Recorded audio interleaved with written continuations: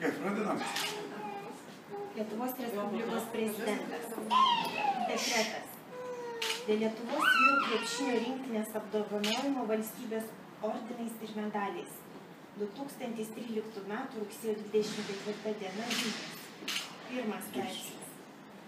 Vadovaujantis Lietuvos Respublikos Konstitucijos 84 straipsnio 22 punktų, apdovanojami valstybės ordinais ir medaliais už Lietuvos vardo garsinimą ir nuopelnų sportui, už parodytą valią ir ryštą laimėjus 2013 m.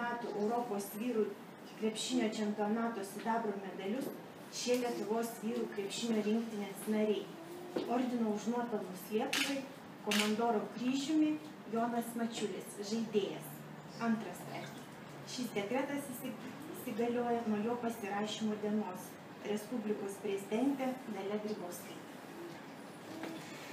Jo, tai e, labai malonu atlikti šitą malonę, malonų pavedimą prezidentės ir įteikti e, pelnytą apdovanojimą Jonui Mačiuliui, kuris buvo vienas iš svarbiausių rinktinės ramščių, atskiros rungtynės svarbiausias, bet krepšinis yra kolektyvinis žaidimas. E, Mes visi labai džiaugiamės, kad laimėta, laimėti sidabro medaliai. Vieną kartą esu įteikęs tokiam senam žmogui Vašingtone ordiną, tai jis pasakė, aš suprantu, kad čia, jis buvo labai gyvens amžiaus, kad čia mane pagerbėt, ačiū, aš suprantu, kad tai yra dar truputį į ateitį žiūrint, kad aš tą daugiau padarysiu.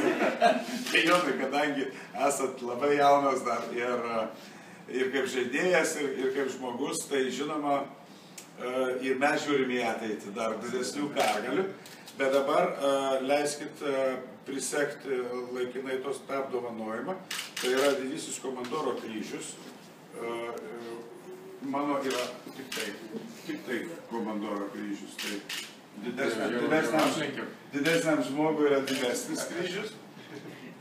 Ir žinoma, svarbiausia detalė, kuri turi gerai atrodyti nuotraukai.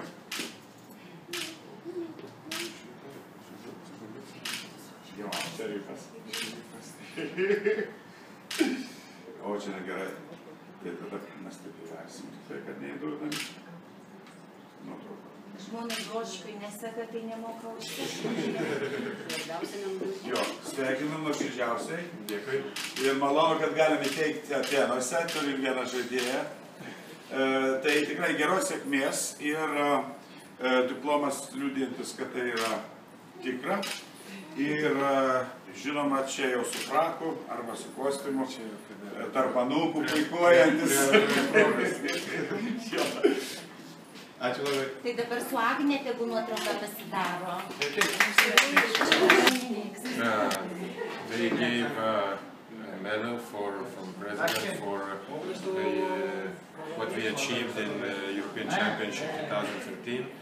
It's a medal for uh, representing uh, representing uh, our country, and it's uh, mm, I don't know which sec- second biggest level of a medal.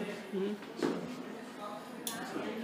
big honor to have on my chest. It was when we one of the best moments that we when we beat Croatia and we qualified to semi-final and of course to final. Sorry, and uh, after when they put silver medals on our on our necks, you know, so it was really really big event for everybody and for players and for all uh, country.